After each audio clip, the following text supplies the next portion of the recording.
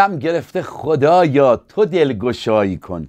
من آمدم به امیدت تو هم خدایی کن. به بوی دلکش زلفت که این گره بکشا دل گرفته ما را ببین و دلگشایی کن. با درود خدمت هموطنان عزیزمون در سراسر جهان. امیدوارم که به فیض خداوند در این ایام نوروز در قوت و امید و شادمانی باشید. هرچند با اخبار نا ناراحت کننده ای که ناگواری که شنیدیم در این ایام نسبت به سیلی که در خیلی از استانهای ایران اومده بود دل همه ما به درد آمد. اما در دعا هستیم که به فیض خداوند این سیل رو بتوانن مردم جلوش بگن و خدا مانع بشه با فیضش که بیشتر از این تلفات نده و بیشتر از این خسارت به مردم عزیز ایران ما نیز نزنه. در کنار من برادرم بهروز جان هستن. امروز هم برای ما زنده و مستقیم هست. سپاسگزارم. به کارگردانی آقای یاسر عزیزم در اتاق فرمان. از ایشون هم سپاسگزار هستم. پس عزیزان اگر الان ما رو روی فیسبوک دارید می توانید همین الان ما رو شیر کنید با دوستانتون. با آقای رضا زرابی خواهیم بود در آلمان. پس آماده باشیم. اگر تصور می‌کنید سوالی موضوعی هست می توانید روی فیسبوک برای ما بنویسید. عزیزان که ما سوالات شما را از ایشون بپرسیم. باشه که بتونیم در این برنامه نسبت به آنچه را که در فکر و ذهنمون برای آزادی کشور عزیزمون ایران هستش و بعد از اون حتما وقت باشه. دوست داریم در تو کلام خداوندم نیز سخنی داشته باشیم برای امید و شادی و قوت و رشد ایمانمون. از همین ابتدا خواهش می‌کنم لطفا با دعای من متحد شده تا بتونیم برای کشور عزیزمون آنچه که وعده خداوند هست که دست حفاظت خداوند با تمام ملت ها هستش به طور خاص وقتی ما خدای حقیقی و زنده رو می‌شناسیم یهوه هستش که با فیضش دعای ما رو اجابت می‌کنه. پدر آسمانی خداوند تو شکر می‌کنم برای این محبت عظیمت برای این وقتی که تو مهیا کردی باشه که خود قدوس آنچه که مصلحت دل عزیزان هموطنان ما هست به طور خاص خداوندا برای آسیبی که نسبت به این سیلی که ایجاد شد ای پدر جان این بحران طبیعی که ایجاد شده دست حمایت تو باشه خداوندا. تسلی تو خداوندا با خانواده هایی باشه که عزیزانشون رو از دست دادن. و ای خداوند تو به اونها آرامش بدی و تو نیاز و ای خداوندا احتیاجات هموطنان سلزده ما رو در ایران تأمین کنیم و تو جلال یابی به تک تک مصلحت های دل هموطنانمون. و چون همه اینها رو در نام مسیح طلبیدیم با ایمان دریافت می‌کنیم. ما متاسفانه شنیدیم دوباره از یک شنبه گویا بارش شدید در ایران میاد. داریم دعا می‌کنیم و ایمان داریم که خداوندم مطابق فیضش عمل خواهد کرد و مجال این رو خواهد نخواهد داد که هموطنان ما آسیب بخورن. اگر اشتباه نکنم تا الان چهل و چهار نفر گفتن جان خود را دست دادن 48 نفر شنیدم می‌گفتن یک ساعت پیش از رادیو ایران ولی این آمار واقعی نیست. بله. اینا بر اساس اون تعداد اجسادیه که در واقع اینا به دست آوردن تا الان. درست. واقعی نخواهد بود. بله. من دارم آیه رضا زراب رو می‌گیرم. برای همین این صدا با ما هستش. اما اتفاقی که افتاده این هستش که ما می‌بینیم که توی این شرایطی هم هر دولتی که حتی اون احساس مسئولیت رو نکنه سعی می‌کنه به ظاهر خودش نشون بده که دلسوز هست. حتی تو این مسیر هم فیلم هم نمی‌تونه بازی کنه که بگیم یه فیلمی هم بازی می‌کنه. متاسم ما نتونستیم ایشون رو بگیریم تا الان. بله. حالا به احتمال زیاد خودشون با ما تماس خواهند گرفت. ایشون الان نشون میده که آنلاین هست. هستن؟ بله فکر می‌کنم. بله. درود به شما. درود بر شما آقای رضا زر. بله.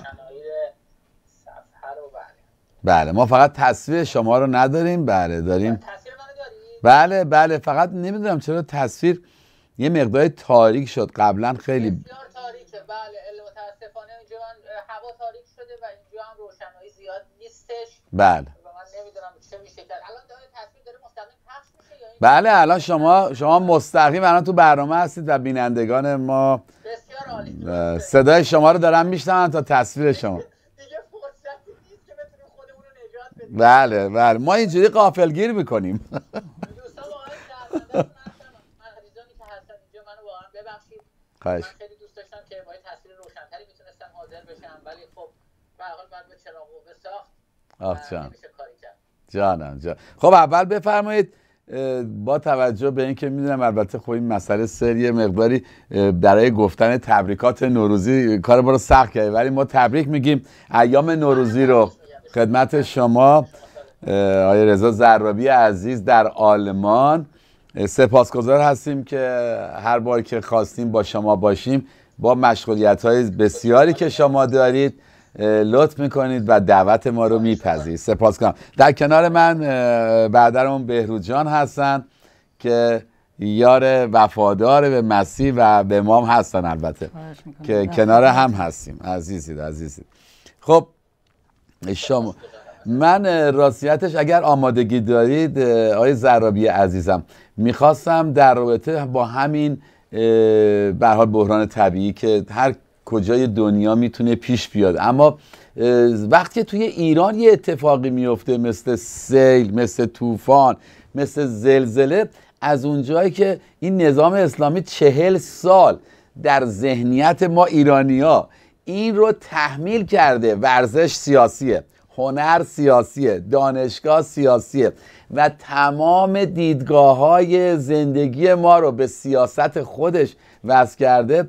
می‌خواستم سوال کنم آیا نتیجه گیری که می‌تونه داشته باشیم از این موقعیت سیل سیلی که ایجاد شده در ایران آیا نظام اسلامی می‌تونه از این برداشت به نفع برداشتی که منافع خودش رو در اون ببینه بکنه نسبت به این سیل شما در این مورد تردیدی نداشته باشید که همواره همینطور بوده بله. ما در حقیقت با این حقیقت روبرو هستیم که نظام جمهوری اسلامی از دو چیز همیشه سود برده یکی بله. بلایای طبیعی هست و یکی جنگ اگر به یاد داشته باشید در دورانی که جنگ ایران و عراق انجام می‌شد خیلی از مردم رفته بودن و به- شعارشون هم این بود ما برای دفاع از میهن رفتیم و داریم با دشمن میجنگیم امروز بله. ما می‌بینیم که رژیم جمهوری اسلامی به تازگی اعلام کردن که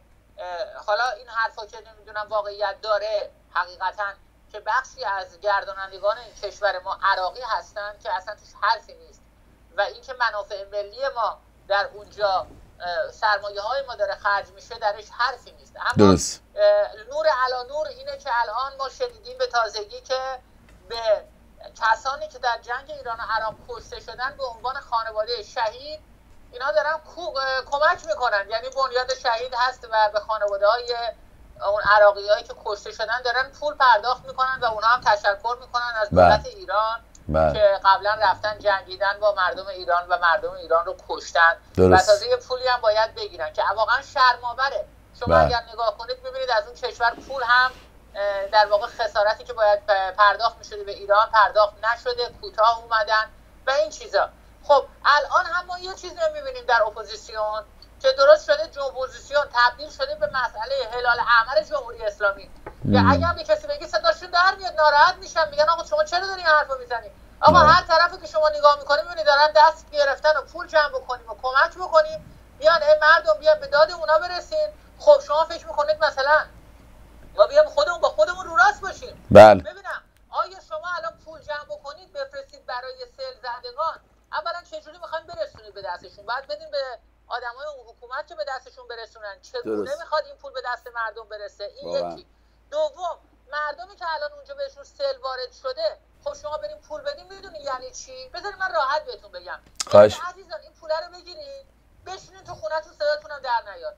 یعنی ما خودمون شدیم اه، کمککار جمهوری اسلامی. پول بیان جمع بکنیم بدیم دست مردم تو ایران اسمش هم می‌ذاریم کارهای خیریه. میگه خب مگه بعده اگر شما بهشون بگی آقا نکنید میگن نه آقا این حرفا چیه؟ ما باید به مردم تو ایران کمک بکنیم. بیان یه پولی هم بهشون بدین که شما بشینید سر جاتون نرید موقع سر صدا بکنیم حقتون رو بخواین. و این واقعا ناراحت کننده است که من می‌بینم از طرفی. اما از در عین حال به عنوان یک انسان اینو نمیشه انکار کرد که انسان ها وظیفه دارن به هم کمک کنن. انسان بله، وظیفه بله. دارن درست. حضور داشته باشن مشارکت کنن در کارهای خیریه. اما چگونه؟ اگر کسی رو می‌تونن بفرستن شما برای مثال میگید آقا ما از کلیسای خودمون می‌خوایم یک نماینده یک شخصی رو که معتمد هست این رو بفرستیم. ام این مقدارم پول جمع کردیم.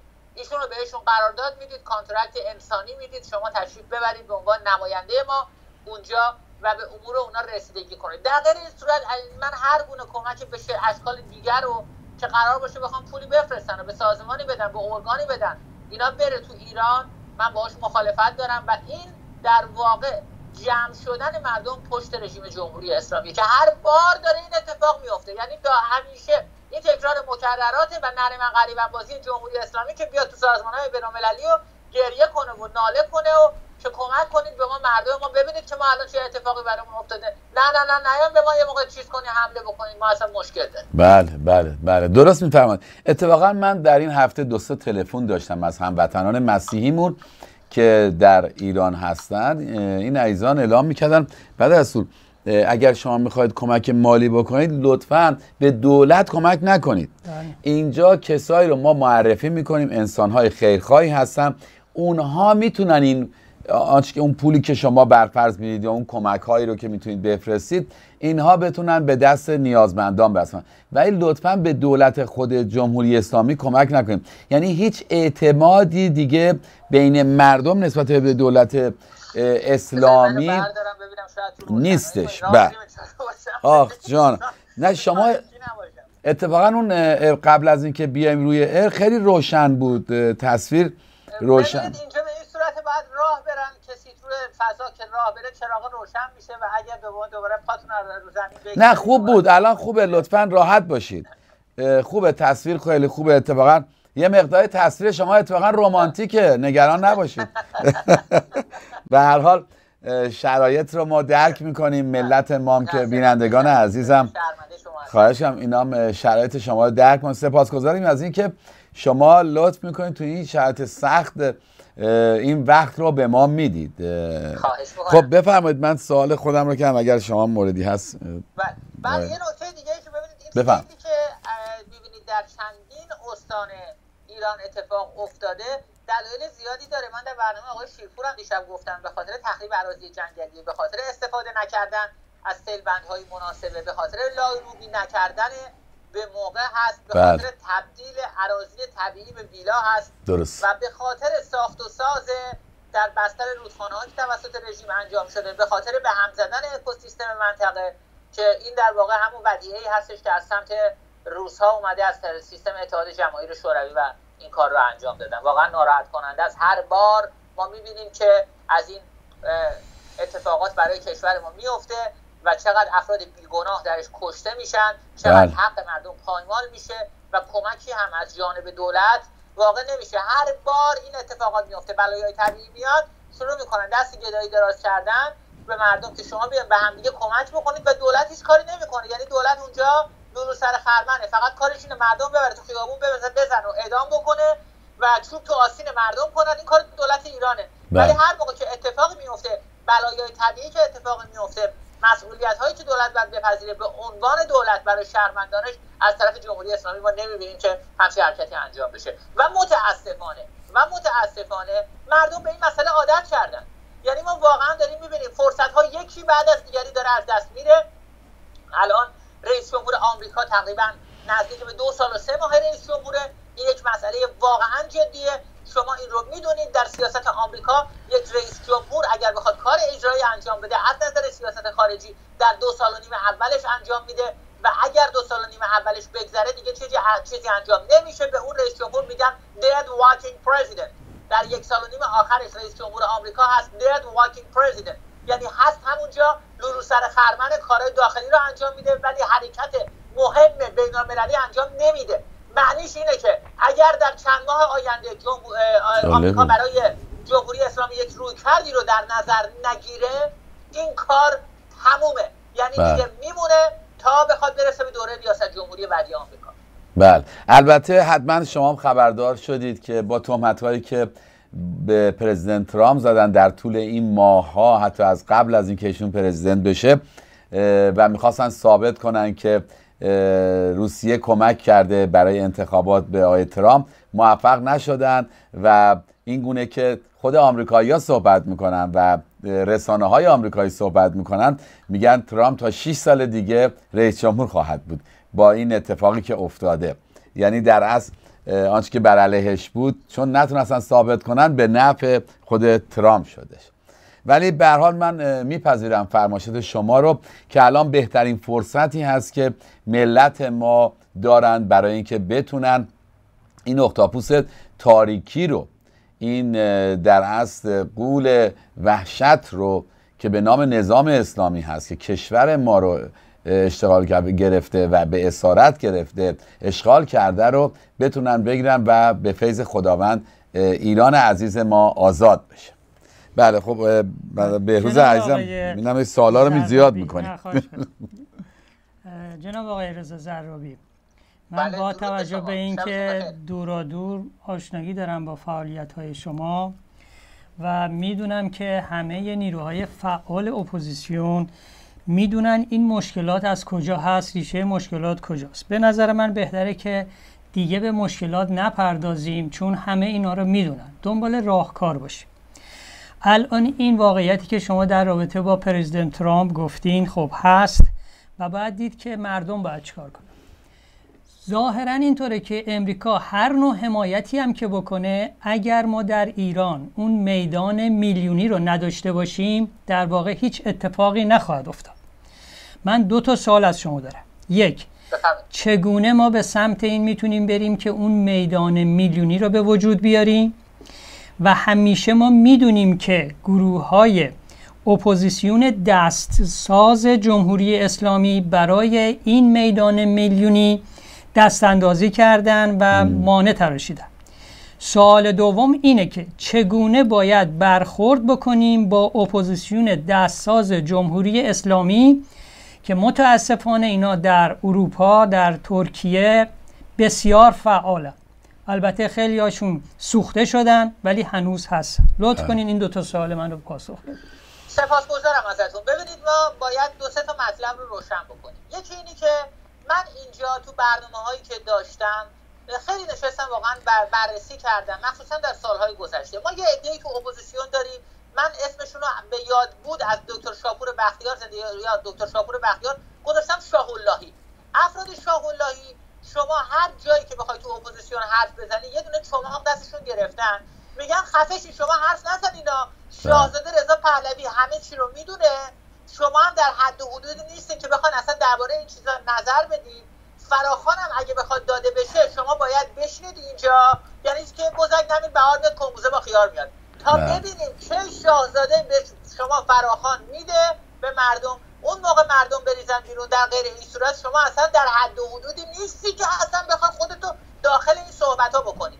و در واقع اینها من شاید راستش رو بخوام سه سال پیش نمی‌دونستم. رو راست بهتون بگم من سه سال پیش نمی‌دونستم. فکر می‌کردم اینا یا های احمقی یا نمی‌دونن یا عقب افتادن یه چیزی. بعدا فهمیدم بخش زیادی از اینها اپوزیسیون دست‌سازن برای اینکه از شاهزاده رضا پهلوی یه لولو خورخوره ساختن وایستادن با چماق بالا سر مردم. و هم می‌خوان بزنن تو سرشون و خفه بکنن. و بگن شما نمی‌فهمید شما حرف نزنید. مبادا خدا نکنه که یه نفر تو اپوزیسیون بلند شه بگه آقا مثلا فلان کارو بکنید. من یادم میاد آقای سعید شمیرانی یه نمونهش رو به شما میگم آقای سعید شمیرانی اومد یه روز پارسال بود. تو برنامه من اومد حضور پیدا کرد. آقا ایشون اومد یه برنامه گذاشت شروع کرد گفت آقا مردم باید بلند شن و اینا ما شاهزاده رو دوستش داریم قبولش داریم. بلند شید بیاد یه حرکتی بکنید. آقا شما نمی‌دونید از هفته از فردا شب شروع کرد. تو همون برنامه شروع کرد فعالیت کردن بهش. که اصلا شما کی هستی؟ اصلا تو چه مقامی هستی که داری میگی که شاهزاده مثلا فرض بکن باید به عنوان پادشاه سمبل ملی باشه و ما باید خودمون مبارزه کنیم. یه هفته بعدش شاهزاده رفت نشست صحبت کرد. همون حرفایی که ایشون زده بود زده بود. یعنی همونایی که آقای سعید شمیرانی من دیدم هفته بعدش اومد همینا رو گفت. گفت من نمی‌خوام مسئولیت رهبری قبول کنم. شما بعد رهبراتون خودتون پیدا کنید. باز این شاه داشتن همچنان به سعید شمیرانی فوش می‌دادن.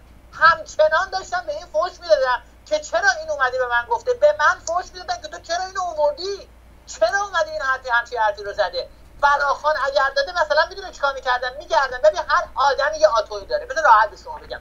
همه ما آدما یه سری اشتباه ها می‌کنیم. خب؟ مسلم. طبیعی فرض بکن امروز یه نفر میشه فعال سیاسی اون آدمی که اپوزیسیون دست سازه میره میشینه پرونده این آدمو بررسی می‌کنه خب؟ بله. میره میگرده آقا ده سال پروسه سیاسی اینو نگاه می‌کنه. تو شما محاله بتونی هر کی رو پیدا کنی تو ده سال پروسه سیاسی چهار تا اشتباه پیدا نکنی. اون چهار تا رو می‌کشه بیرون میاد میشینه یه برنامه درست می‌کنه. میگه مردم نگاه کنید اینو ببینید این آدم کسیه که لیاقت فلان کار و فلان کار و فلان کار نداره. نشون به این نشون. یک دو سه چهار. چهار تاشو برای شما میشمره می‌ذاره جلو شما میگه بنابراین با استناد به اینی که من دارم به شما میگم بنابراین حرف این آدم ارزش نداره این لیاقت نداره بشین تا شاهزاده حرف بزنه.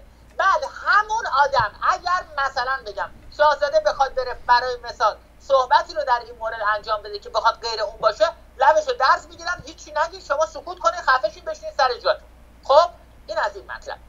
بعد از این مردم هم هر دفعه نگاه می‌کنن به همین حرفا رو همین سیستم و همین روش رو تکرار می‌کنن و میگن افرادی هم که بخوان کارهای سیاسی بکنن صلاحیت ندارن نمی‌رسن یا نمی‌تونن بیان کاری بکنن. اینه که این مسئله معلق بوده. شما نگاه کنید دو سال و سه ماهه که پرزیدنت ترامپ رئیس جمهور آمریکاست. هیچ بله. اتفاق نیفتاده. عملا نگاه کنید ببینید تظاهراتی که تو ایران انجام میشه ده هزار تا 15 هزار تا 20 هزار تا میان بیرون دوباره همون داره می‌زنن قلقم می‌کنن یه درم می‌گیرن ادام می‌کنن میرن. و در حالی که ما الان نگاه می‌کنیم جمهوری اسلامی در ضعیف ترین وضع خودش قرار داره. دقیقا. در حدی قرار داره که حتی در بعضی موارد حقوق مزدوران خودش رو نمی‌تونه بده. رژیم حتی نمی‌تونه پول مزدورای خودش رو پرداخت بله. بکنه ولی باز هم همچنان سر پا مونده. و من نگرانی می‌دونید چیه؟ بذارید من رو راست بهتون بگم. نگرانی من اینه که وضعیت ایران بشه مثل وضعیت کوبا. ببینید وضعیت کوبا چجوری بود؟ وضعیت کوبا جوری بودش که مردمش به بدبختی افتادن. تو سرشون هم زدن تو کوبا. درست. اتفاقی افتاد؟ یک فرار مغزها. شما نگاه کنید. بالای یک میلیون نفر از مردم کوبا از این جمعیت شاید بگم 8 یا 10 میلیونی کشور کوبا اصلا توش نیستن. یعنی هر کی ببخشید این حرف رو می‌زنم. یا شاید حالا درباره کوبایی بگم. شاید درباره ایرانی هم بشه گفته به اینجا برسه. که اگر هر کسی شجاع باشه قیور باشه خوشفکر باشه به جایی برسه از ایران فرار کنه. بیاد بیرون. کیا میمونن؟ افرادی که در پسیو هستن اون قدرت یا جرأت ایستادن رو ندارن. میشه مثل کوبا. کوبا همین حالت رو داره. افراد پسیو افراد ضعیف افرادی که حاضر شدن ظلم و استبداد رو بپذیرن اکثریتشون توی کوبا موندن. برای همین امروز شما بلند برید تو جامعه کوبا. من که دارم خالص کوبا رو میگم. برای که من چندین سال در آمریکا زندگی کردم و این جامعه رو مورد بررسی قرار دادم. جامعه کوبا رو. افرادی که شجاع و غیور بودن خوشفکر بودن در جامعه کوبا اینا از اون کشور رانده شدن خارج شدن فرار کردن رفتن یک میلیونشون تو فلوریدا نشستن. کیا موندن تو اونجا؟ کسانی که استبداد پذیر بودن. کسانی که بله. حاضر بودن در برابر استبداد سر خم کنن و بگ هیچی نگن و سکوت کنن و بگن حق ما همینه هم 20 دلارمون رو بدین درسته. موندن توی کوبا. و نتیجهش این شد. که در کوبا نظام کاسترو دووم پیدا کرد. یه عده‌ای تو کوبا یا فکر می‌کرده الان اگر فیدل کاسترو بیفته بمیره الان بهش بری میشه اتفاق میفته همه چی عوض میشه. دیدیم که نشد. دیدیم که فیدل کاسترو رفت. دیدیم که راول کاسترو هم رفت. اما سیستم کاسترو توی ایران توی کوبا بود. و نگرانی من اینه که درد ما این بودش که خمینی درد ما نیست خامنه ای درد ما نیست.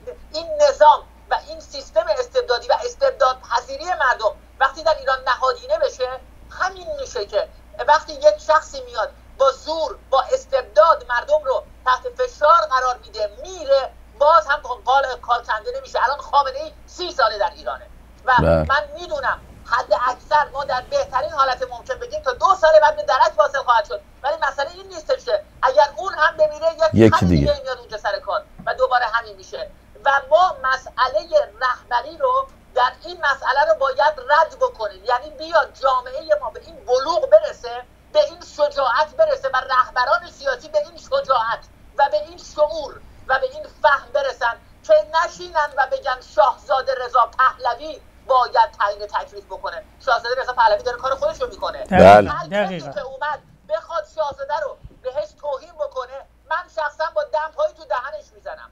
اما معنیش این نیست که شاهزاده رو یه دونه بت کنید بذاریم اون بالا بخوام بپرستیم و هر کی هم که بخواد حرف بزنه بخواد رهبری به عهده بگیره بخواد کار سیاسی انجام بده بزنن تو سرش خفش بکنن و این نتیجهش بشه که مردم بمونن یک اولاغی تو اپوزیسیون پیدا بشه و بگه قاسم سلیمانی. چرا باید مردم ما به این نقطه برسن؟ چرا باید قاسم سلیمانی رو بیان به عنوان یه دونه opposition مطرح کنن؟ چرا باید بیان محمود احمدی نژاد جنایتکار رو که 700 نفر رو با تیر خلاص زده بوده بیان به عنوان opposition مطرح کنن؟ اینا درد ماست. اینا درد جامعه ماست. برای اینکه هر کسی اومد تو اپوزیسیون سر بلند کنه زدن تو سرش به اسم شاهزاده رضا پهلوی. و ما باید این تابو رو بشکنیم. به فیض خود اتفاقا حالا به مطلبی دارن. هرگز خود شاهزاده این گونه که بعضی از طرفدارای متعصب ایشون که بازم طرفدارای قلبی ایشون نیستن هرگز خود شاهزاده این گونه صحبت نکرده که به من نگاه کنید همیشه با فروتنی کنار نشسته. گفته من با شما هستم و انتخاب انتخاب مردم هستش. نه اعلام پادشاهی کرده نه اعلام رهبری کرده و حقیقتا اگر ما بخوایم در بین اپوزیون شخص فروتن رو ببینیم که هیچ فکر و اندیشه ای نداره که فردا چه سمتی داشته باشه خود شاهزاده است. لذا که هستن افرادی که تو اپوزیسیون هستن فعالیت می‌کنن و شاید حق واقعا بر حقم بگن اگر یه قسمتی سمتی داشته باشن. اما می‌خوام بگم شاهزاده هرگز صحبت از سمت نکرده جایگاه نکرده و این محبوبیتش رو در دل هموطنان عزیز ما داره. ببخشید مطلبی که شما می‌خواست جناب بله. ضرابی با توجه به اینکه شما در پروفایل خودتون اعلان کردین فعال سیاسی و حقیقتا هم هستین و دانش آگاهیش هم دارین من فقط می‌تونم بگم یک دلسوز هستم. من اون دانش آگاهی رو ندارم که خودم فعال سیاسی معرفی بکنم. ولی به نظر شما آیا بهتر نیست که افرادی که خودشون رو فعال سیاسی معرفی می‌کنن و دلسوز جامعه هستند بیان در درجه اول این جامعه اپوزیسیون رو سرندش بکنن بد و خوبش بکنن ناخالصیاشو بریزن بیرون تا اطمینان مردم جلب بشه. الان کاری که اپوزیسیون دستساز کرده اینه که اطمینان رو برداشته. دقیقا. هر شخصی شما بهتر می‌شناسی. اومده توی پروفایلش یه عکس با شاهزاده گذاشته یه عکس با پرچم گذاشته ولی دقیقا داره برخلاف منافع مردم ایران عمل می‌کنه. من اسم نمی‌برم ولی یک مورد را که چند روز پیش با ایشون درگیر بودم فقط اشاره می‌کنم. ایشون اومده در پروفایل خودش یه متنی گذاشته که در ترکیه چقدر زندگی سخته. کار نیست از شهرت نمی‌تونی خارج بشی. بعد اومده ادامه داده من اینجا بسیار فعالم در هفته چند ساعت لایو می‌ذارم بیش از هزار پرچم من به پناهنده ها به طور مجانی دادم. کلی تیشرت من درست کردم با عکس رضا شاه و به مردم هدیه دادم. چه کردم؟ چه کردم؟ خب آدم نگاه می‌کنه می‌بینه این چه شخص فعالیه. توی این شرایط بد ترکیه واقعا چقدر داره فعالیت می‌کنه. بله. بعد من دو صفحه اومدم پایین تر توی صفحه خود ایشون می‌بینم یه سینی هفسین گذاشته. سماق هست سیر هست سرکه هست همه چی هست به جز پرچم. آه. یعنی شخصیتی که داره اعلام می‌کنه من هزار تا پرچم به رایگان دادم حتی یک پرچم سر سفره هفسین خودش نیست. و ما مثلا شما کجا کدوم یک از ما شنیدیم که کوچکترین کلام زشتی از دهان شاهزاده رضا پهلوی در بیاد بیرون؟ که افرادی هستن میان پرچم ایران را پرچم ایران اهمیتش از همه چیز بالاتره. زیر پرچم ایران میشینه توهین می‌کنه فوشای رکیک میده.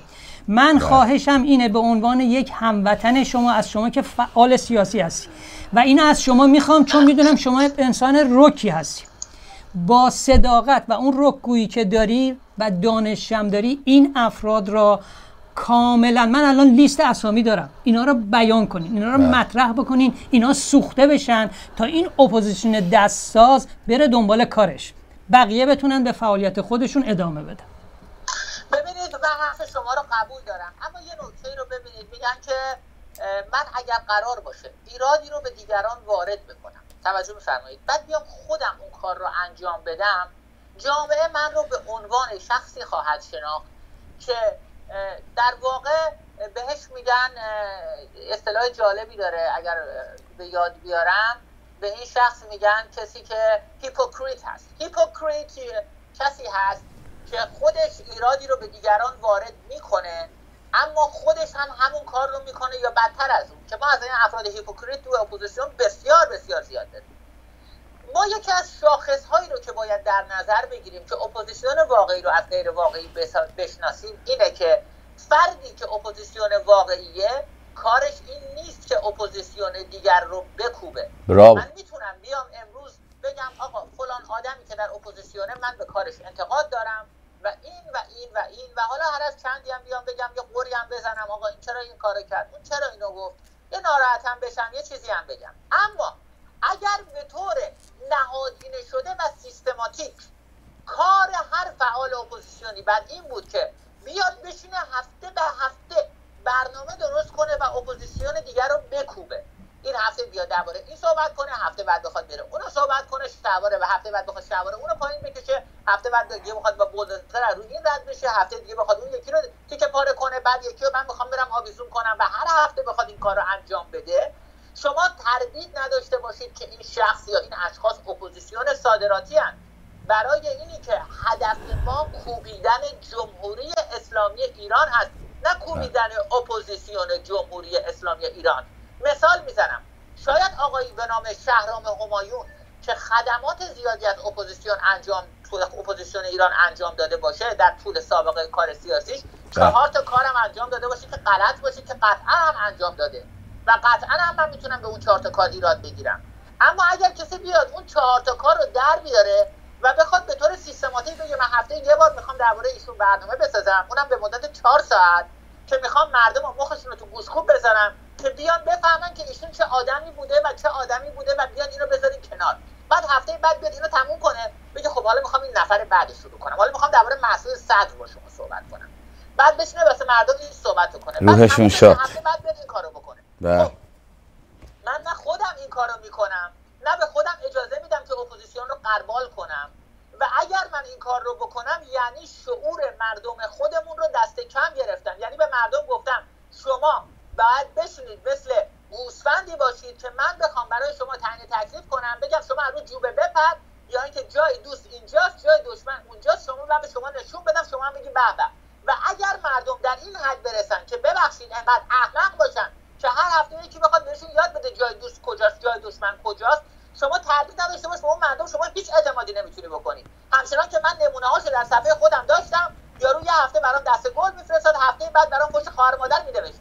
همون آدمی که برای من دست گل میفرستاد. چرا؟ برای اینکه دهنبین بود. امروز میشه یا چهار تا حرف می‌زد میشه برای من دست می‌زد. به درود به تو مرد مبارز هفته بعد می‌رفت برنامه. یه آدم پوفیوز یا نگاه می‌کرد. اون یارو پوفیوزه می‌گفت اینو می‌بینید؟ این خائنه. یارو میومد تا که اینا میگه فکر می‌کرد. میگه آ من یک کشف بزرگی کردم. من فهمیدم این خائن یکی از خائنای ایران پیدا کردم. میومد همون شروع می‌کرد به من فرش دادن. اگه مردم اینقدر بخواد نزول کنه سطح سیاسیشون که بخواد با حرف اینو اون این برم اون بر بشن اصلا بهتره که آدم اینا رو فراموش کنه یا این کاراکترها رو بذاره کنار. خب. بعد از این شما من گفتید که سوال بعدیتون رو مطرح کنید به من در این مورد اپوزیسیون گفتید. ببینین الان با توجه به همین صحبت های شما مردم تا اطمینان به اپوزیسیون نداشته باشن اون میدان میلیونی تشکیل نمیشه. توجه می‌کنی؟ بله. okay من فرمایشات شما رو قبول. با توجه به اینکه اپوزیسیون مثلا شهرام همایون که شما اسم بردین ایشون خب بسیار کار کرده. قطعا چهار تا کار اشتباه توش بوده. این بله. این جدا از اون دسته ایه که به خاطر این کار آموزش دیدن. به خاطر این کار بودجه در اختیار دارن و دارن میان و خرابکاری ها رو می‌کنن. ما اگه اینا را. ببینید ببینید من الان به شما میگم. ما یه دونه دماسنجی یه دونه ترمومتر رو می‌تونیم قرار بدیم. از روی این اپوزیسیون رو بشناسیم. مثال تمام کسانی که میگن ما طرفدار شاهزاده رضا پهلوی هستیم. خب شما این همه ساله که داره شاهزاده رضا پهلوی کار سیاسی انجام میده. کار یه روز دو روز یه بار دوبار که نیستش که ما سالهای سال هست که داریم صحبت ایشون رو گوش می‌کنیم. خب ببینید شاهزاده رضا پهلوی در طول این سالها چه گفته؟ گفته من می‌خواهم ایران رو به سوی رفراندوم آزاد ببرم. من می‌خواهم ایران را به سوی سکولاریسم ببرم. یعنی اینی که کسی که در ایران مسلمونه کسی که در ایران مسیحیه آزاد بشه. کسی که در ایران یهودیه بتونه آزادانه اون دین و عقیده خودش رو داشته باشه و کسی تو سرش نزنه. تو چرا مسلمونی؟ تو چرا مسیحی هستی؟ تو چرا یهودی هستی؟ یا که بگن که چون تو مسلمون هستی پس یا شیعه هستی توی چیه اسنا اشری دین تو برتری داره بر اون دین دیگه. یا عقیده تو برتری داره تو سر و گردن از اونها اضافه تری. یا نه اصلا اون رو نه. شما مسیحی هستی چون مسیحی هستی سر و گردن از اونها اضافه تری. ایران رو ببره به سمت سکولاریسم. و ایران رو ببره به سمت دموکراسی. دموکراسی سکولار. یعنی اینی که در ایران مردم بتونن نظر خودشون رو بدن فردا نفر بتونه بیاد در خیابون آزادانه از شاهزاده رضا پهلوی یه کاریکاتور بکشه عزیز من. دلش می‌خواد بیاد از شاهزاده یه کاریکاتور بکشه. بله. خب حالا اگر تو اپوزیسیون شما به کسی برخورد کردی که یک نفر دیگه نفر سومی رفت از شاهزاده رضا پهلوی یه کاریکاتور کشید و اینا رفتن شروع کردن بهش فحاشی کردن و فوش خواهر و مادر دادن و تحقیر کردن که ما سرتو می‌بریم و گوشتو می‌بریم و تیکه تیکت می‌کنیم هر روز رد میشیم. شما قطعا بدونید اون اپوزیسیون نیست اون صادراتیه اگر کسی مثل براوو. برنامه دیشب بدون اینکه اسم بیارم بدون اینکه اسم بیارم همین دیشب طرفداران سامانه پادشاهی برنامه گذاشتن شخصی اومده با صدای بلند گفته چندین هزار نفرم رفتن لایک کردن دیدن شیر کردن. گوش کنید چی گفته؟ گفته هر کس بخواهد سکولاریسم و دموکراسی را به ایران وارد کند دشمن ایران است. تعارف هم نمی کند بعد اون یکی شخص هم نشسته گفته بله منم همینو میگم. عجب. میگن ما طرفدار سامانه پادشاهی هستیم. خب شما قسم حضرت عباس رو می‌خواید باور کنید دوم خروس رو. یعنی ما بعد از این همه سال به این فهم و شعور و درک نرسیدیم که بتونیم تشخیص بدیم شاهزاده رضا پهلوی که سالهای سال در وایساده و گفته من هدفم آوردن سکولار دموکراسی به ایرانه. بعد این آدم میگه من طرفدار شاهزاده رضا پهلوی ام ولی میگه هر کس بخواهد سکولاریسم و دموکراسی را به ایران وارد کند دشمن ایران است. گوش کنید دشمن ایران است. بعد در بیاد در انتهای مطلب برای اینکه یک مالکشی خیلی شیکی هم انجام داده باشه بگه چی؟ بگه من تمام آنچه گفتن در چارچوب باورهای اجتماعی من نیست. من به عنوان یک تحلیلگر صحبت کردم. به. دستم می‌ذارم اینجا. و. ربطی به اون سامانه ای که به باور دارم نیست.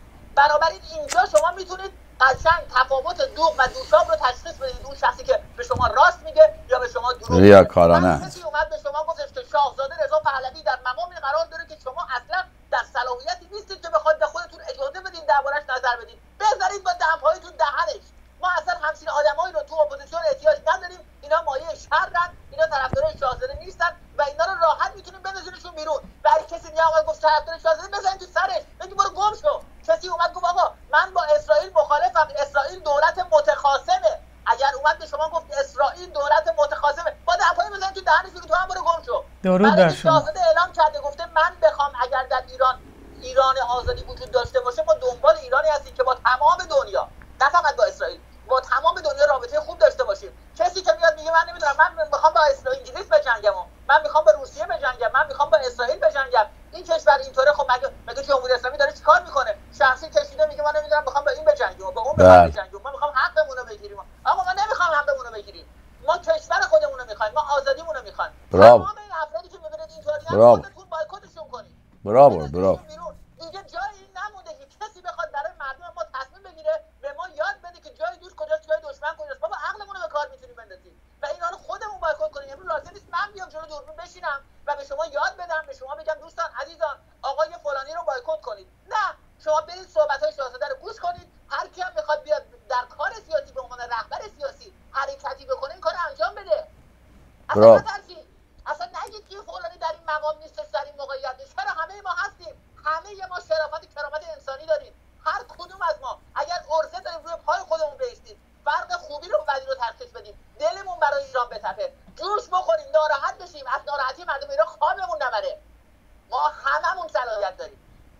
آمین خیلی ممنون. ما می‌خوایم یه بریک داشته باشیم یه استراحتی بکنیم شما یه چایی بخورید و همچنین هموطنان از ما بهنوش جان نوش جان چه دم دست بوده. اما خب نتیجه گیری این هستش که فکر می‌کنم خیلی خلاصه از آنچه که شما فرمودید. بهروز عزیزم فرمودید که ما تمرکز و فکوسمون رو بذاریم به دو تا اصل. یک سرنگونی نظام اسلامی. دو آباداری کشور عزیزمون ایران در آینده. نه به چپ و نه به راست نگاه کنیم. سخنی از شاهزاده عزیز شد که خب به طور مثال صحبت شد و ایشون یه جایگاهی هستن که توی تمام مباحث سیاسی میشه دربارهش صحبت کرد و شخصیت هایی که در طول سالها ملت ایران رو خدمت کردن مانند آقای شهرام همایون عزیز که ایشون هم خدمات بسیاری داشتن. اجازه بدید من به خدمات خوب و نیک ایشون نیز بپردازم. که در طول این سالها ایشون پرچم شیر و خورشید سرنگ رو نیز با سعی و تلاشش به هر روشی شده با تعلیمات و با گفتارش سعی کرد که این پرچم رو زنده نگه داره. حتما عیزان دیگه ای بودن که وقتی من خودم به پرچم شیر خورشید نگاه می‌کنم قسمتی از این پرچم رو چهره آقای شرام همایون رو می‌بینم که در طول این سالها سو... این مثالی هستش چون اسمش اینجا عنوان شد. بله همه اشتباه می‌کنن. منم به عنوان یک کشیش حتما گناه می‌کنم. روزی که من به عنوان یک کشیش اشتباه و گناه نکردم مطمئن باشید که من مردم زنده نیستم. پس انسان تا زمانی که زنده است اشتباه می‌کنه. سپاس از آیه رضا زرابی عزیزم برای مطالبی که گفتن. پس هموطنان عزیز خواهش می‌کنم با هوشیاری عزیزان با هوشیاری لطفا مواظب باشیم نه به چپ نه دنبال جنگ باشیم نه با کسی بجنگیم. تمرکزمون رو بذاریم برای سرنگونی این نظام اسلامی و دیدم مطلبی هم که ما قبلا صحبت کردیم شما رو فیسبوک نوشته بودید. چون هدفی که این جمهوری اسلامی در طول این چهل سال داشته این بوده که ایران رو فدای ایدولوژی اسلامی کرده. شعار ما این باشه. اگر قرار هست فدایی اینجا باشه اسلام فدای ایران باشه نه ایران. فدای اسلام بشه. می‌تونید من گفتم دیروزم گفتم برید دنبال قسمت بیت دومش. اسلام فدای ایران.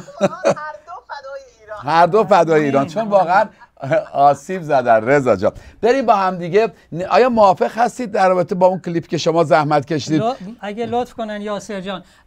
رضا جان یک کلیپ ما درست کردیم در رابطه با همون سایتی که خدمت شما گفتم. لطف کنین توجه کنین و اینو در اروپا انتشار بدین. ممنون میشم. عزیزان برنامه ما زنده هست. خیلی هم خودمونیه. به حال توی صحبتامون حرفی زده میشه موقعیتی زده میشه. این برنامه زنده است داره پخش میشه. لطفاً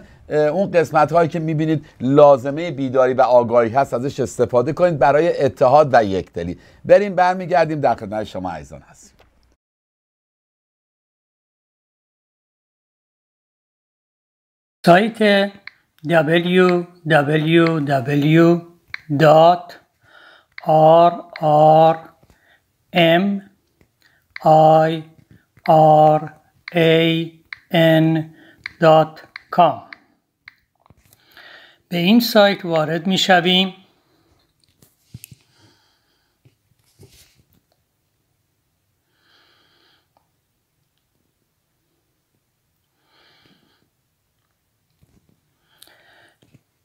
راه رهایی مردم ایران. آگاهی و همبستگی ایرانیان. بدون در نظر گرفتن ایدئولوژی و تنها با ملیت ایرانی با هم متحد شویم. هدف ما برکناری رژیم اهریمنی جمهوری اسلامی در ایران و فراهم ساختن یک مسیر روشن برای رسیدن به دموکراسی است.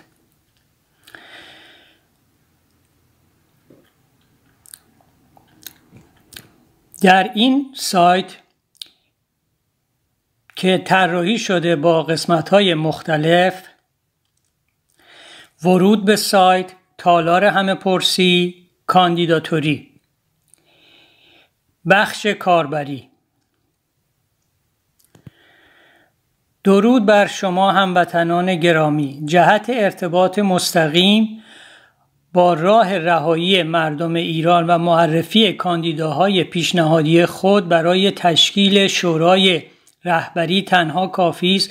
از طریق روش های زیر با ما تماس حاصل نمایید. ارتباط مستقیم از طریق همین وبسایت. ارتباط از طریق ایمیل آدرس rrmiranch@gmail.com ارتباط از طریق واتس اپ با شماره 201 305 98 72 500 کانال رسمی در تلگرام به آدرس ات RRMIRANCH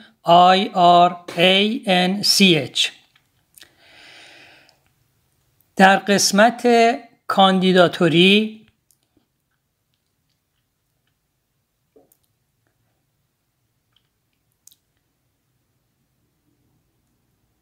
به این قسمت که وارد می شویم شما ایرانی عزیز هم می توانین در راه رهایی مردم ایران برای انتخاب توسط ایرانیان جهان به عنوان نماینده مردم ایران خود را کاندیدا کنین و حتی اگر شخص یا اشخاصی را که برای نماینده شدن در این راه مردمی می‌شناسین به عنوان کاندیداهای مورد تایید خود معرفی نمایید. اگر شخص یا اشخاصی را می‌شناسین که مشمول کاندیدا شدن در راه رهایی مردم ایران است جهت معرفی ایشان لطفا از این بخش استفاده نمایید.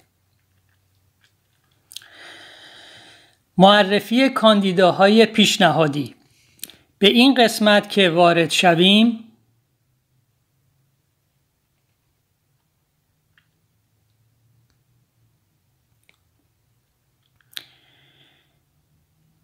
کاندیدا یا کاندیداهای پیشنهادی شما مشخصات فردی شما. خواهشمند است بخش های مورد نظر را تکمیل نمایین. نکته مهم برای حفظ حریم خصوصی مشخصات فردی شما به هیچ عنوان در هیچ کجا منتشر نخواهد شد. نام شما ایمیل آدرس شما مشخصات کاندیدا یا کاندیداهای پیشنهادی شما. خواهشمند از شخص یا اشخاص پیشنهادی خود را برای انتخاب در شورای رهبری به ما معرفی نمایید. کاندیدای شماره یک شماره دو شماره سه شماره چهار شماره پنج شماره شیش شماره هفت شماره هشت شماره نه و شماره ده. می توانید از یک تا ده نفر را به عنوان کاندیدا معرفی نمایید. مشخصات کاندیدای خود را بنویسین و در نهایت ارسال لیست پیشنهادی را تاچ کنید. به امید پیروزی مردم ایران بر حکومت ستمگر جمهوری اسلامی بدرود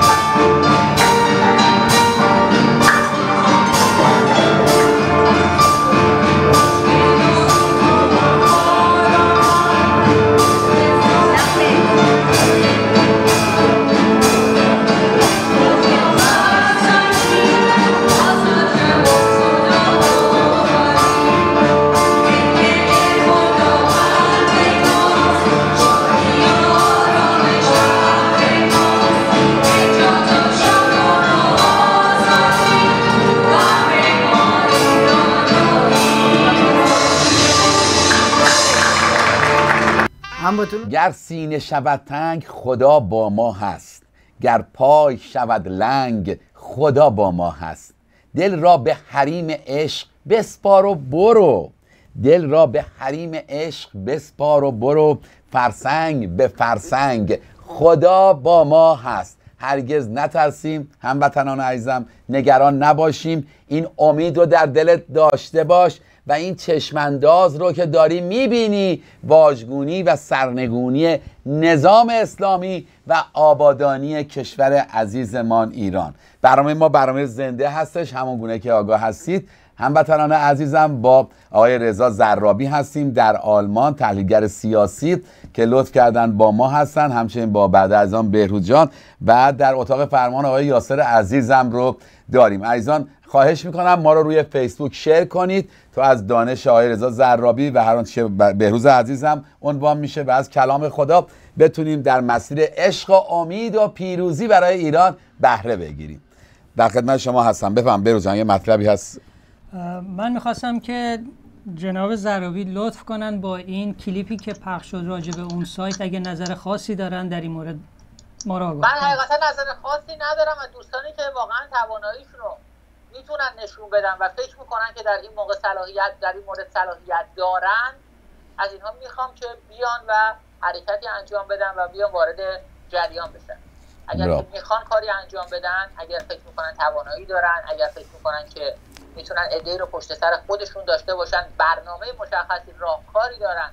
یا می‌دونن که چگونه میشه مردم رو پشت سر خودشون جمع کنن. یا برنامه این فقط نه که بگم فقط این باشه بلکه در, در خودشون این حداقل این محبوبیت اینی که تا یه حدودی بتونن یک بخشی از جامعه رو جذب کنن. می‌بینن حتما بیان اینجا و خودشون رو با در این هم مشارکت بدن.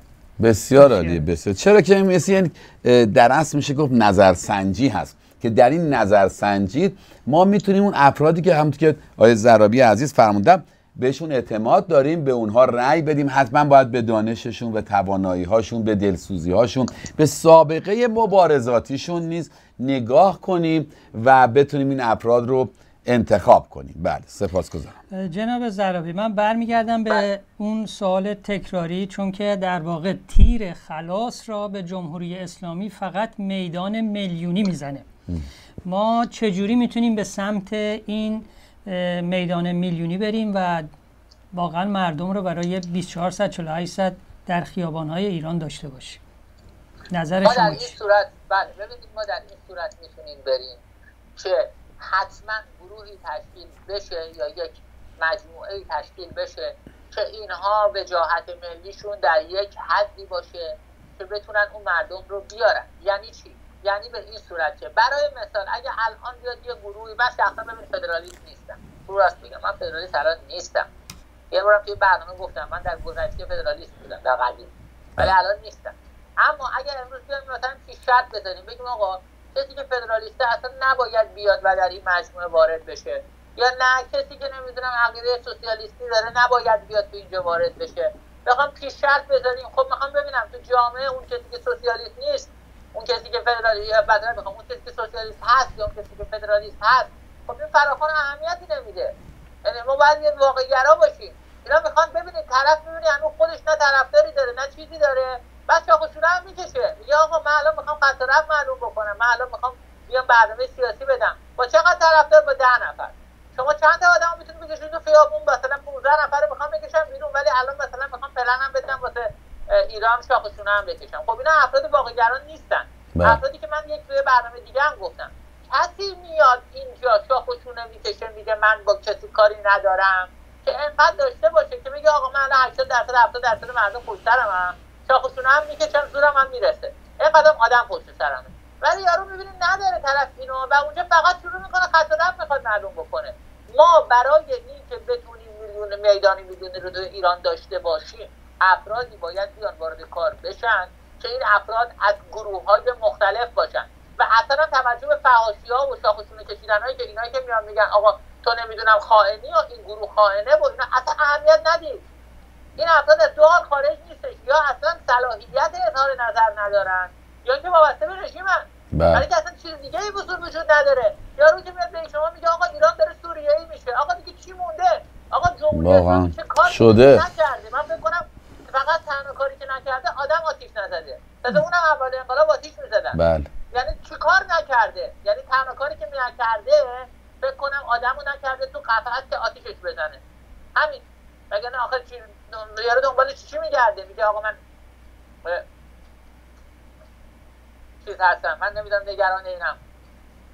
بله بله.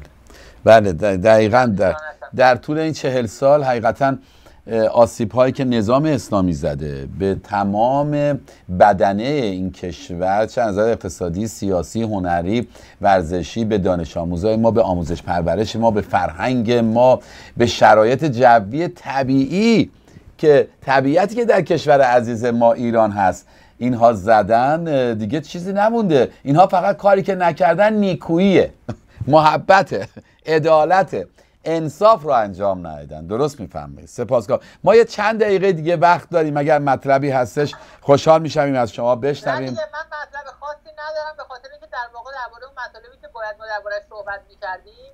حد اکثر برای امشب ما صحبت ما. سپاسگزارم به همین حساب من دیگه ارزی دیگه ندارم و از شما عزیزی. می‌کنم که این رو گفتید.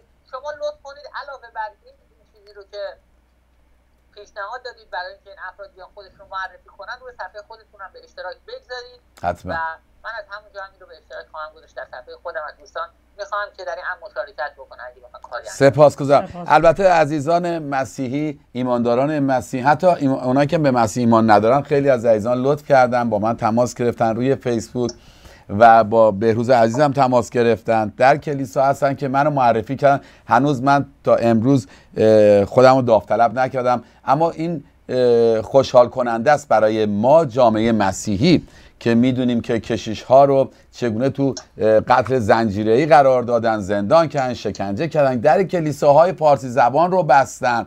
انقدر آسیب زدن. تصور من بر این هست که جامعه مسیحی نیز باید افرادی رو داشته باشن در اون جایگاه آینده که بتونه مدافع جامعه مسیحی باشه مدافع مردمی باشه که مبادا دوباره آنچه که در نظام اسلامی دلیل این همه آوارگی مسیحی ها شد و جفا شد دوباره پیش بیاد که ایمان داریم در ایران آینده چنین اتفاقی نخواهد افتاد ولی موافق هستم عزیزان اگر مایل هستن می‌تونن اسم منو ببرن به عنوان همون سمت کشیش تا ببینیم در آینده خداوند چگونه منو هدایت خواهد کرد من خودم هم به شما رأی خواهم داد من سپاسگزارم. من. حدود 7 8 نفری رو معرفی کنم و از این 7 8 نفری که در نظر دارم قطعا و بدون تردید من اسم شما رو هم اینجا سپاسگزارم مهر شما. یادگار می‌نویسم سپاس. آقا بهروز آقا شما هم می‌خواید در این امر مشارکت بله بهروز؟ عزیز اونم یکی از خادمین خوبی هستن که اجازه بدین که من نباشم به این دلیل که من می‌خوام این در واقع انتخاب کشیش رسول هیدری در سطح بالایی صورت بگیره. ببینین. اتفاقی که افتاده توی این چند ساله که جمهوری اسلامی باعثش شده اینه که خدا رو هم بی اعتبار کرده. بله. الان شما بله، بله. الان شما اگه توی این چند روز گذشته کلیپ هایی که از سیل اومده بود مردم فریاد می‌زنن خدا تو کجایی آیا خدایی هست. اینا اعتبار خدا رو هم گرفتن ما. فقط می‌خوایم که شخصی مثل کشیش رسول هیدری رو داشته باشیم خواهش تا در واقع این اعتبار خدا رو ما بتونیم نشون بدیم ما نشون بدیم که بابا خدای واقعی هست آمین و این هست. خیلی مهمه برام آمین که همه کنار ما هست. هم هست همه ما کنار مسیح هستیم پیشنهاد می‌کنم یه بله.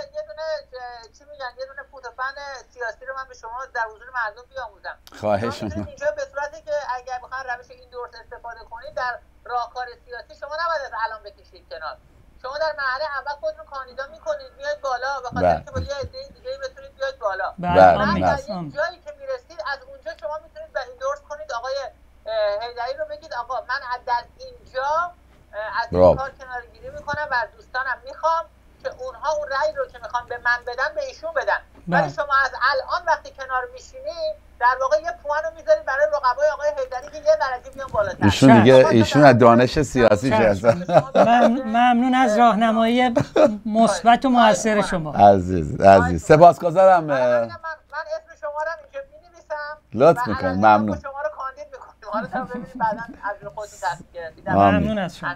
سپاسگزارم با تشکر از آقای رضا زرابی عزیزم که در آلمان با ما در تماسن شما رو به دستان پرفیض خداوندمون میسپاریم. فیض خداوند با شما سپاسگزارم که وقتتون رو به من دادید و این ارزش رو برای من قائل شدید خواهش می‌کنم. باعث افتخاری همراه در این برنامه خودتون داشته باشید. باعث افتخار هستید. فیض خدا باشید فیض خدا. مرسی مرسی. با فیض خدا. با تشکر از هموطنان عزیز ما که تا این وقت با ما بودن. اما به دلم هست بریم قسمتی از کلام خدا رو بخونیم. مزمور 142 به دلم هستش که خونده بشه. حتما باعث برکت خواهد بود برای همه هموطنان عزیزمون. پس خوب هستش که قسمتی با کلام خدا رو بدونیم. در تمام مسیرهای زندگی بدون امید نمی‌توانیم ما آینده رو ببینیم نمی‌تونیم دلخوش باشیم نمی‌تونیم همت کنیم. شاید ما بتونیم با تمام سختی ها و مشکلاتی که روی زمین هست تا یک فضایی جلو بریم. اما بدون امید هیچ کجا نمی‌تونیم بریم. امروز کلام خداوند که از خدای حقیقی یهوه سرچشمه گرفته که ذاتش محبته. رفتارش عدالت هستش. و پیشنهادش حکمت و خرد هست. به ما می‌تونه این امید خوب رو بده.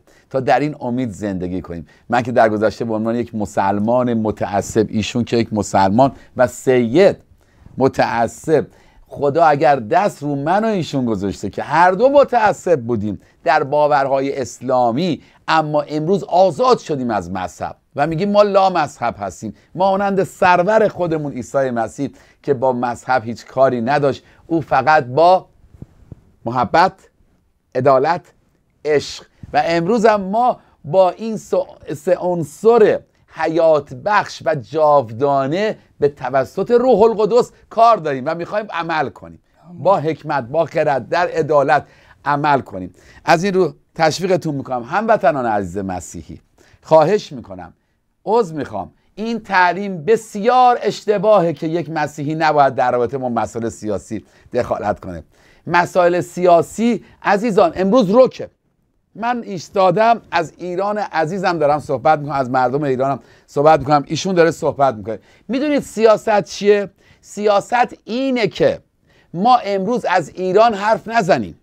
از آزادی ایران حرف نزنیم. از سرنگونی نظام اسلامی حرف نزنیم. بریم جلسه بذاریم و بگیم ایران که آزاد شد تو میری کلیسای مرکز.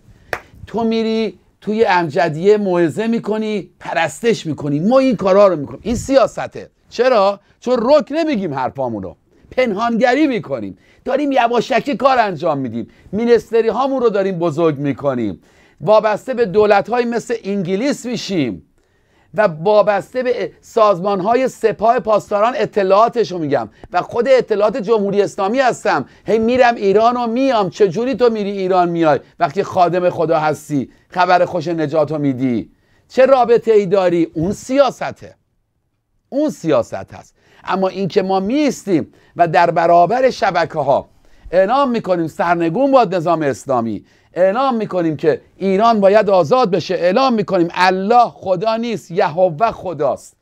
و ایستادیم این همون روح پرقدرتی هست که در جدعون بود در یوشه بود در هوشه بود در داوود پادشاه بود در رسولان مسیح بود که در من و بهروز عزیزم و کسانی که کنار ما ایستادن داره عمل می‌کنه. هموطن عزیزم ما اون سیاست بد دنیا رو پس زدیم. ما در سیاست را راستی و صداقت ایستادیم. هموطنم. پس این رو بدون.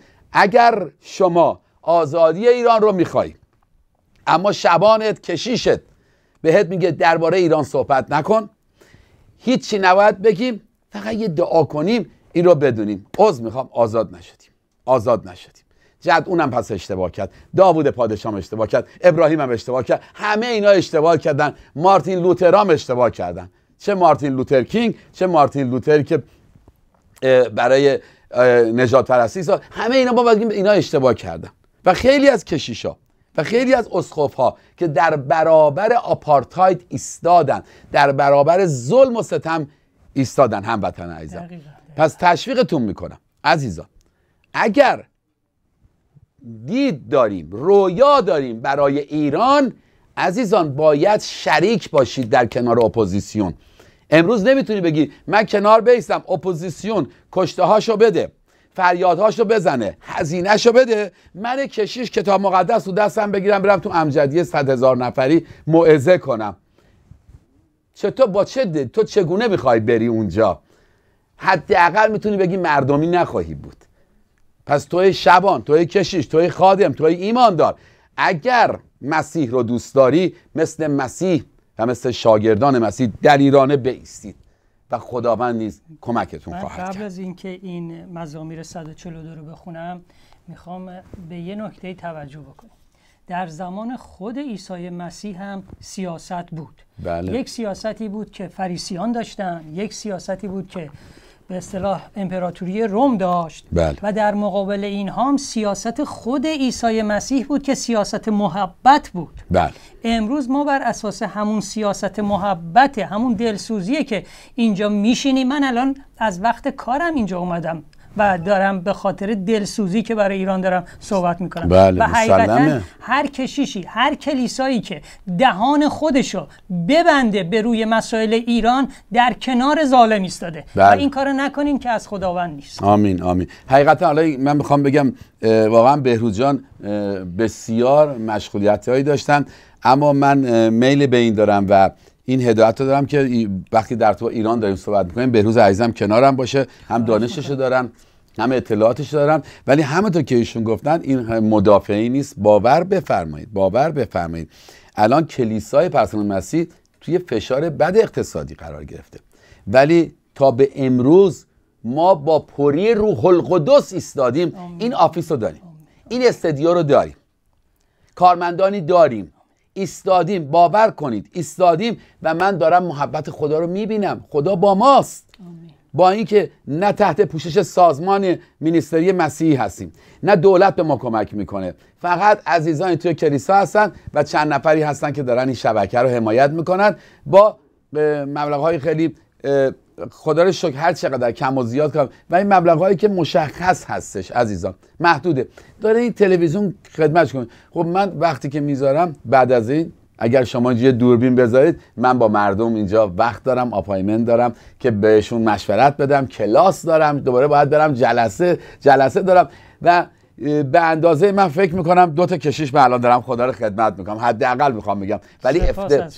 افتخاره. اتفاقا به بهروز جان گفتم بودم بهروز جان من الان چند روزی احساس می‌کنم خیلی که خستم بدنم خیلی خسته است. و مرسی که شما میاد که من نمی... اگه حرف نزدم شما صحبت کنید. ولی خب دیگه این چونه چونه کشیشیه. به هر حال ما زیاد صحبت می‌کنیم. اما هموطن عزیزم خواهش می‌کنم. از این فرصت می‌خوام استفاده کنم. دست یاری به ما بدید. از نظر مالی. بذارید ما بریم رو ماهواره باور کنید ما تنها شبکه مسیحی هستیم که درباره آزادی ایران داریم صحبت می‌کنیم. اگر ما بریم روی شبکه رو بریم روی ماهواره من ایمان دارم که ایمانداران ایران تکون خواهند خورد. جلوی کلیسای فارس زبان ایست- میایستن و کلیس در کلیساهای فارس زبان باز خواهد شد. اگر این اتفاق بیفته. خواهش می‌کنم ما رو حمایت کنید. خواهش کنم نظر مالی ما رو حمایت کنید. ما اگر ماهی ده هزار دلار بتوانیم اینجا مبلغی رو داشته باشیم ما با همین هزینه می‌تونیم به ایران بریم. اگر در قلبتون هست می‌توانید به روی سایت ما pwoc.church و اونجا کمک هایتون رو بکنید و یا اینکه می‌تونید چکتون رو به نام pwoc نیز بنویسید به آدرس 74 75 فالبروک اونیا وست هیلز زیپ کدش هم 91 307 هست که پایین صفحه تلویزیون مشاهده می‌کنید با ما شریک باشید برای آزادی ایران. برای رسوندن خبر خوش نجات من هم مس خدا رو دارم و هم غیرتی رو خدا به من و بهروز عزیزم و مردان و زنانی که کنار من هستن البته که خیلیاشون شما نمی‌بینید برای ایران داریم. بریم این مزمور 142 رو چند تا آیش رو بخونیم. ممنون میشم. با صدای بلند نزد خداوند فریاد می‌زنم و درخواست کمک می نمایم. آمین. تمام شکایات خود را به حضور او می آورم و مشکلات خود را برای او بازگو می کنم. ما وقتی که میگیم سرنگون با نظام اسلامی داریم همین کار می‌کنیم. می‌بریم در حضور خدا میگیم خداوند خودت داریم این چهل سال چه ظلمی کردن. این اسلامی های آخوندهای اسلامی بر مردمی که تو وعده داده بودی بر قلب اونها سلطنت خواهی کرد. بله؟ وقتی جانم به لب می‌رسد او به کمکم میشتابد و راهی پیش پایم مینهد. الان زمانی هست که جان مردم ایران به لبشون رسیده. با این همه سختی ها و با این همه مشکلات دیگه هیچ تحملی ندارن. وقت ایمان دارم خداوند به داد ایرانی ها خواهد رسید. بله؟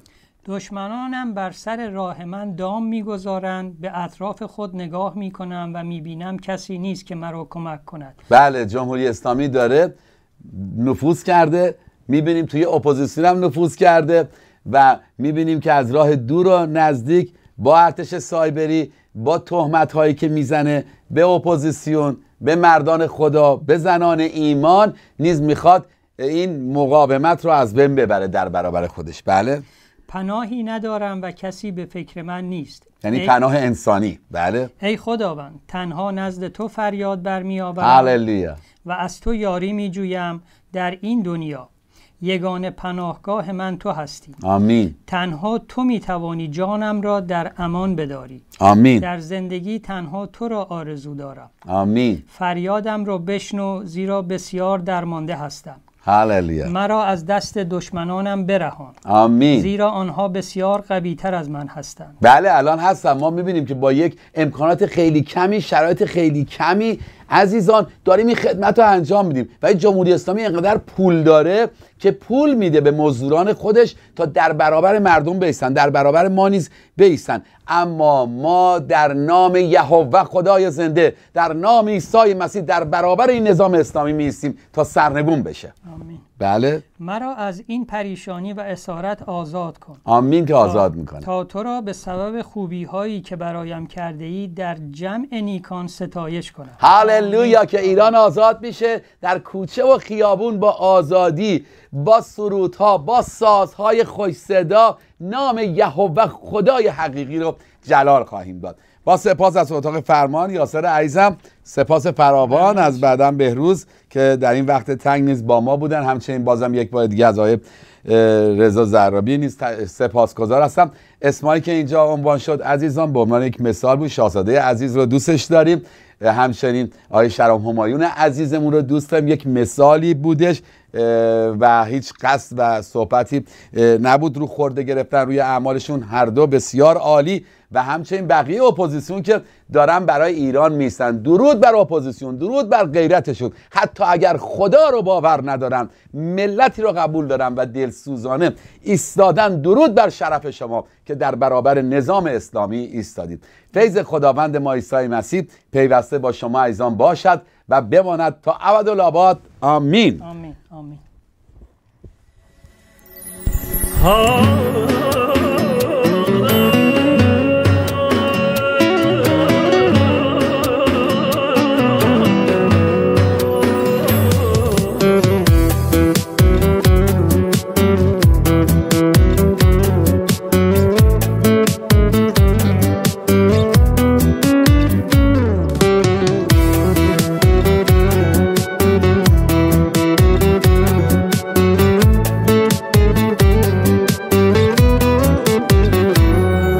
فقط عشق می‌تونه نجاتم بده. اونم عشقی که از تو تو قلبمه. دارم عاشقونه صدات می‌زنم. نجاتم بده از تو اینم همه. دعا می‌کنم با دو دست حقیر دلم لک زده واسه آغوش تو. چه بارون تندی تو چشم منه. چه احساس خوبی دارم پیش تو. چه احساس خوبی دارم پیش تو. دلم دست به دعاته.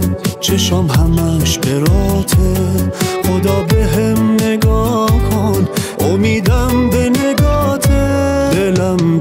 دعاته. چشم همش براته خدا به هم نگاه کن. امیدم به نگاته